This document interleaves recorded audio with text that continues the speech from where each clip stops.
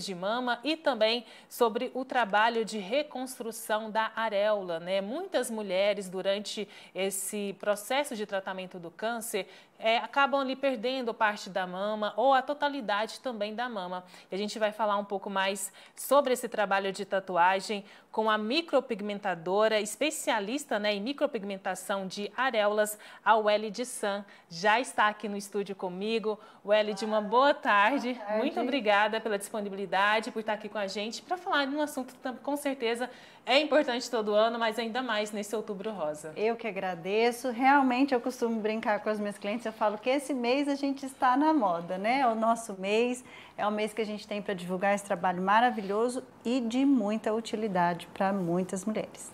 O Elid, antes da gente detalhar um pouco mais sobre como é esse procedimento, como que funciona essa prática, né? Queria que você contasse para a gente, né, quando e como né, que você começou a ter esse contato, a atender essas mulheres, esses pacientes do tratamento contra o câncer? Eu trabalho com micropigmentação desde 2005. A micropigmentação estética. Quando eu me mudei aqui para Goiânia, eu sou de São José do Rio Preto, eu comecei a trabalhar com uma cirurgia plástica, com cirurgia plástica também. E a médica do qual eu estava prestando serviço, que me atentou à necessidade da micropigmentação em areolas, não somente com as mulheres que passaram pelo câncer, mas também as mulheres que passaram por cirurgia plástica e precisava de algumas correções e algumas reparações. E em relação ao câncer de mama, também a reconstrução da mama após a mastectomia feita pelo cirurgião plástico. Então é tudo um mesmo é, estamos na mesma família, né? E assim a necessidade desse trabalho. A gente está até colocando aí na, na TV né, as imagens desse trabalho de reconstrução, de micropigmentação. É para quem, né? Para quando é recomendada a micropigmentação? Você falou que tem também o trabalho do cirurgião plástico. É ele que tem que fazer essa recomendação? É, geralmente é o médico do qual a paciente está passando pelo tratamento. Então, quem está passando pelo tratamento de câncer de mama, a indicação costuma ser do mastologista e ou até também do cirurgião plástico quando faz a reconstrução da mama. Após a mastectomia, tem a reconstrução que é a parte da plástica e o cirurgião ou mastologista que faz a indicação deste procedimento.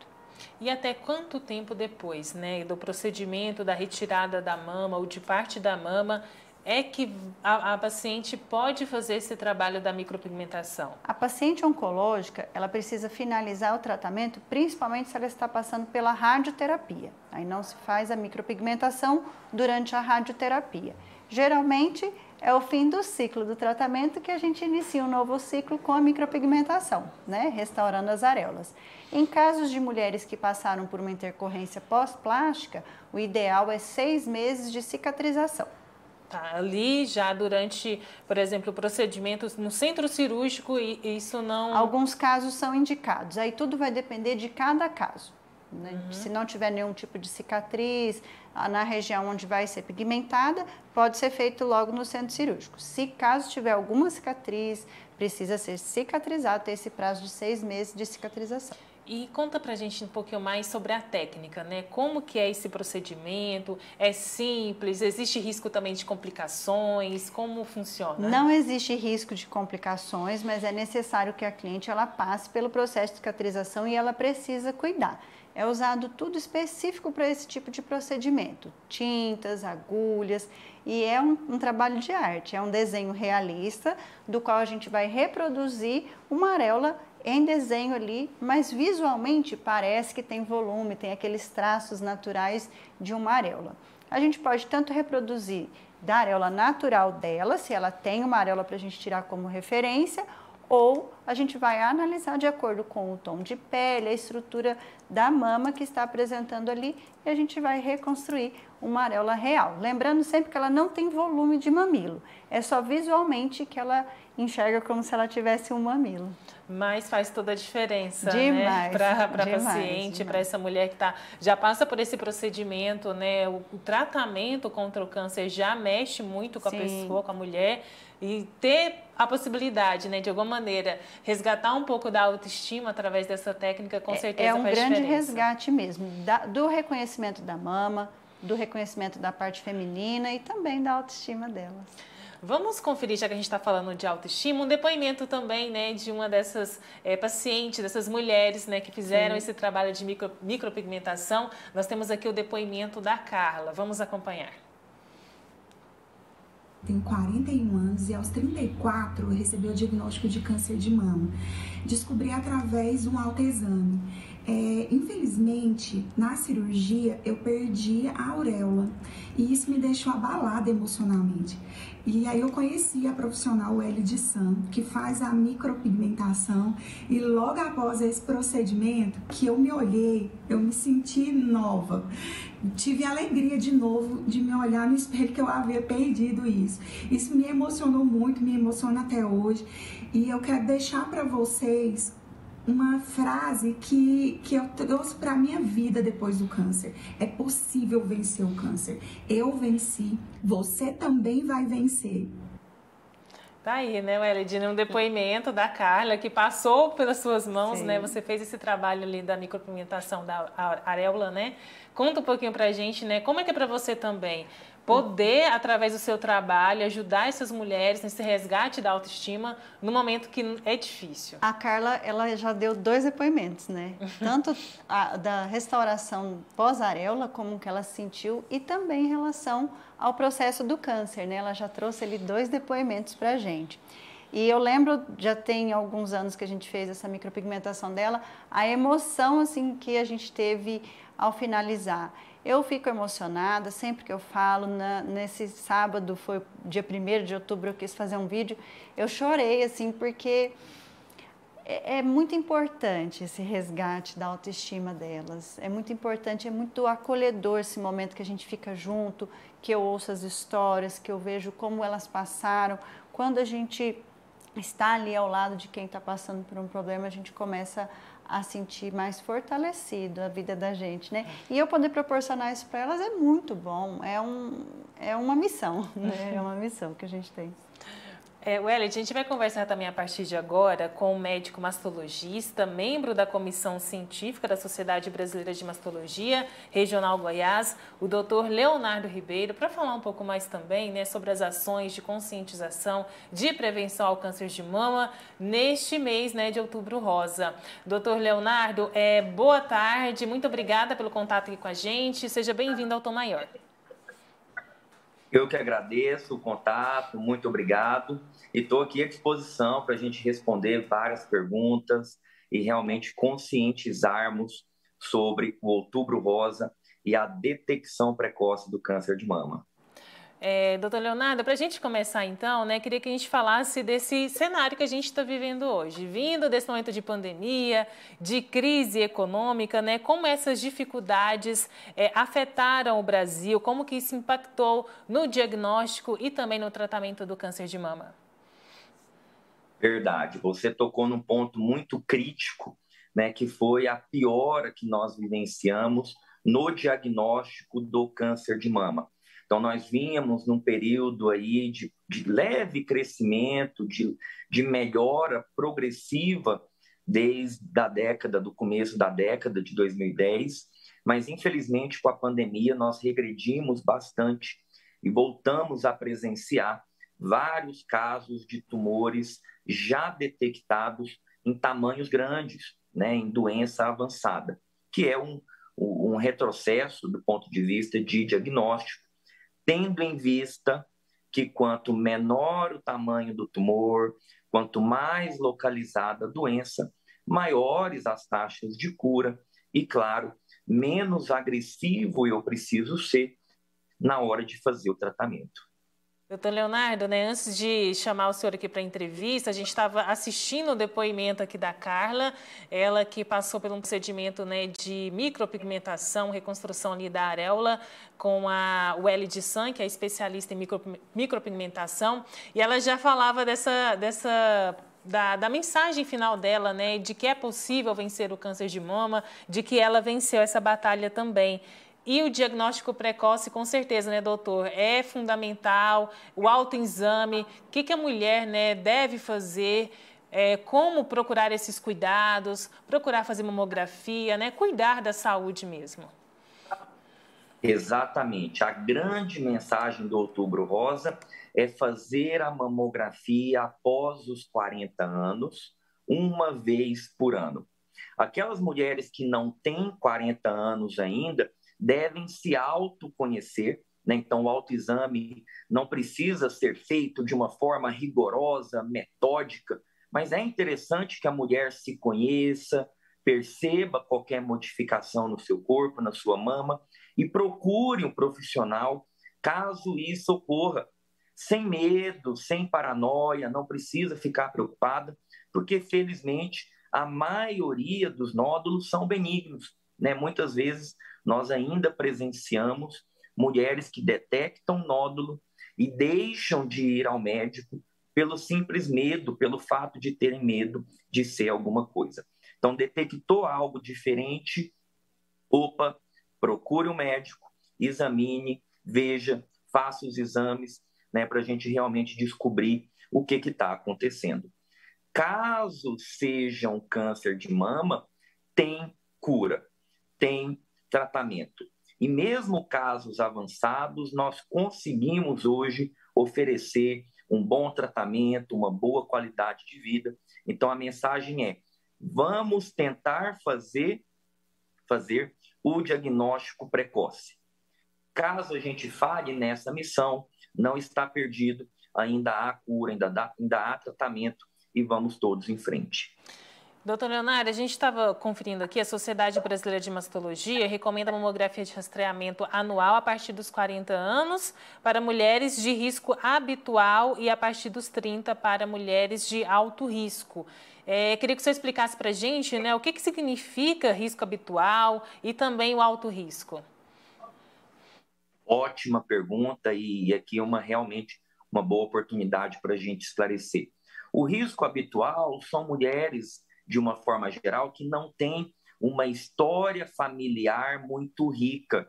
Não tem muitos casos na família de câncer de mama. A partir do momento que a minha paciente tem uma mãe com câncer de mama, uma irmã com câncer de mama, essa mulher passa a ser considerada uma mulher de alto risco familiar para câncer de mama.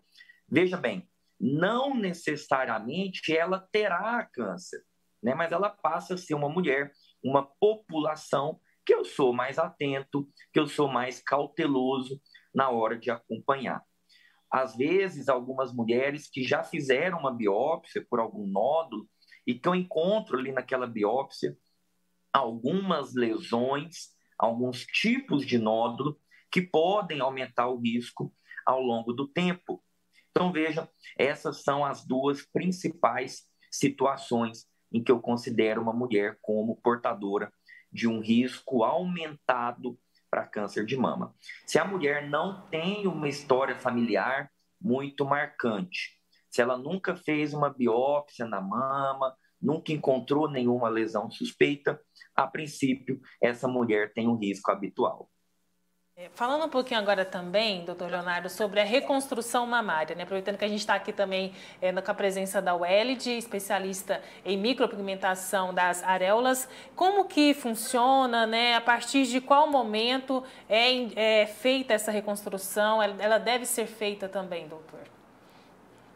A reconstrução da mama, ela deve ser analisada de uma forma geral, de forma individual eu sempre brinco no consultório que cada paciente tem uma doença única, tem aí é, características pessoais que são únicas e, consequentemente, terão tratamentos personalizados. E a reconstrução da mesma forma. Então, se eu tenho uma paciente com uma mama grande, por exemplo, que sempre teve desejo de reduzir a mama, às vezes eu posso fazer isso no mesmo momento eu já diminuo a mama e já tiro o tumor. Só que às vezes o tumor é muito grande e a mama é uma mama pequena e eu preciso tirar, fazer a mastectomia, tirar a mama inteira. Veja, já é uma outra situação. Ou às vezes a paciente está com uma, uma pressão descontrolada, um diabetes descompensado, uma paciente que fuma muito, ou seja, eu não vou conseguir fazer uma reconstrução no mesmo momento com a segurança que é necessária. Enfim, onde eu quero chegar com isso?